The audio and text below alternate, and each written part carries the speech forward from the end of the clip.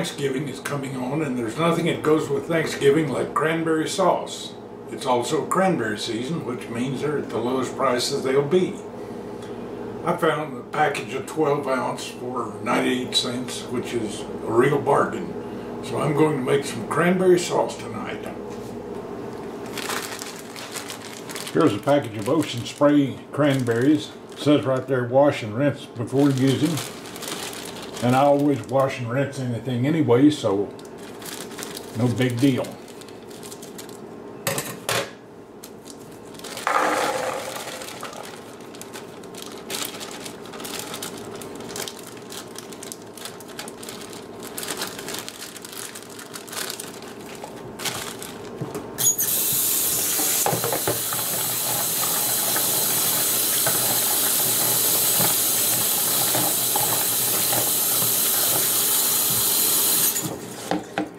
I'll let them drain while I get the rest of it started. Okay, I have everything I'm going to use together here.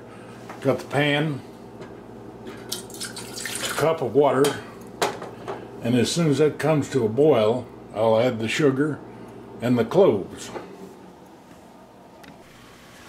And while I'm waiting for the water to come to a boil, I'm going to zest an orange peel. You just want the outer part of the orange peel, not the white stuff under it. It's bitter.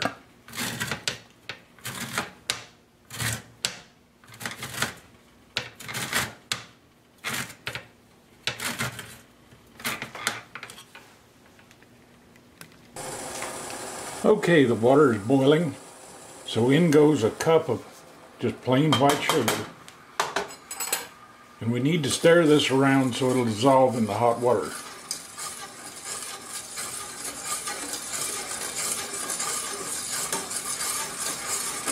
If you don't dissolve the sugar first, it becomes granules on the side of the pan.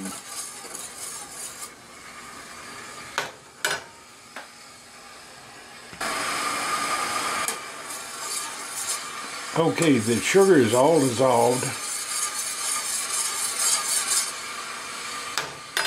So in go the cranberries.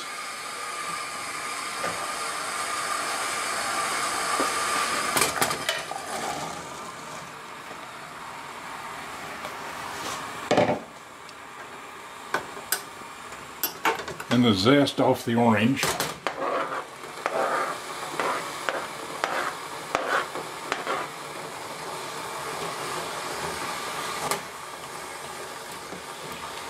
Stir that in. And cloves is a rather strong spice, so I only use about four whole spice clove spices like that. They go a long ways.